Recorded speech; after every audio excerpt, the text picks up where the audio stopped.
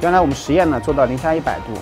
那么呃经过这么多天的低温的存储，白天呢到三十度的这个高温啊进行一个交变，那么事实证明呢我们的设备呢还是经受住了啊地面发射啊这个长期的在轨存储以及啊落火到火星上的啊十四个昼夜的啊就是热冲击，那么应该说它还是啊能扛得住这个环境的这个适应，这也是我们作为载荷研制方。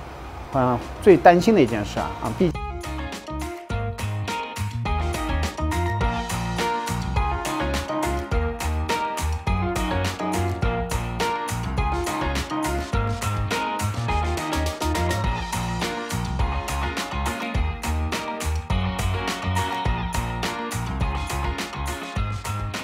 通俗点讲呢，就是说一台激光器，我把它聚焦，聚焦到目标上，然后呢。让它产生一个高温，然后产生等离子体，等等离子体在冷却的过程中呢，会释放出那个原子谱线，然后我们再用光谱仪呢测量这个原子谱线啊，就能直接探测它是什么元素。